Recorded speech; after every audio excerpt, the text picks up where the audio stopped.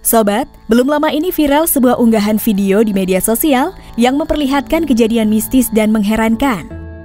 Terdengar ada suara mengajak sahur yang menggema melalui toa sebuah masjid. Namun anehnya setelah dicek ternyata tidak ada siapa pun di dalam masjid.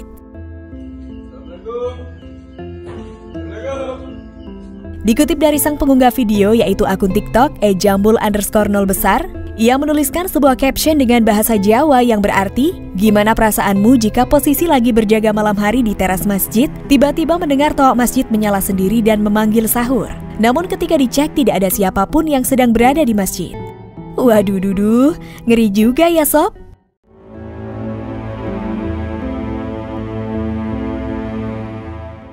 Nah, setelah mendengar suara memanggil sahur itu, beberapa orang yang sedang berkumpul di teras masjid langsung mengecek ke dalam masjid. Ketika pintu dibuka, dalam video tersebut tampak bagian dalam masjid dalam keadaan gelap, serta orang yang mengecek tersebut tak menemukan siapa pun.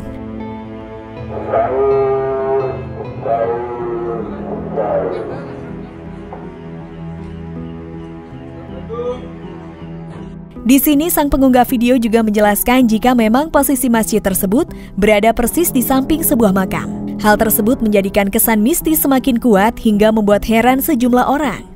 Di sini posisi di sini karo teman-teman. Nah, terus sebelahnya makam. Sontak video ini pun viral dan langsung mendapat respon yang begitu beragam dari warganet. Ada yang mengatakan jika itu adalah sosok jin muslim, namun juga ada pula yang beranggapan jika itu hanyalah rekayasa semata. Hmm, bagaimana kalau menurut kalian?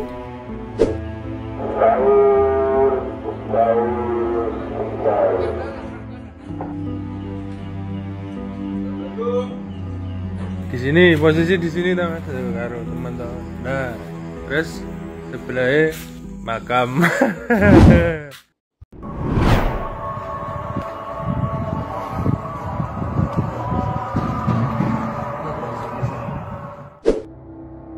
Nah sobat kejadian serupa juga pernah terjadi nih di sebuah masjid yang terletak di negara Yordania.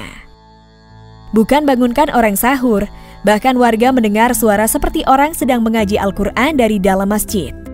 Padahal disebutkan masjid itu dalam kondisi kosong, dipastikan tak ada seorang pun yang berada di dalamnya.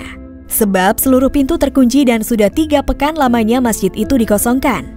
Pada rekaman video itu awalnya diperlihatkan kondisi masjid dari luar melalui jendela kecil memang terlihat benar-benar kosong. Namun dari dalam masjid terdengar sangat riuh suara seperti orang sedang mengaji dan sedang berdoa. Suara itu terdengar sayup-sayup merdu namun tanpa menggunakan pengeras suara.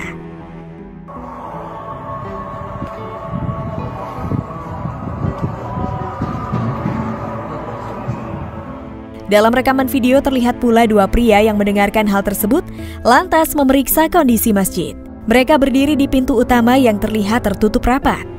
Namun kedua warga itu tampak tak mau membuka pintu. Mereka memilih berdoa sembari memukul-mukul pintu.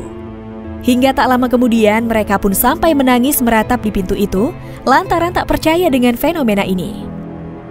Belum bisa dipastikan kebenaran dari peristiwa ini. Walaupun begitu, pengguna media sosial sebagian besar berkomentar jika mereka merasa merinding setelah menonton video tersebut. Wallahu alam bisawaf.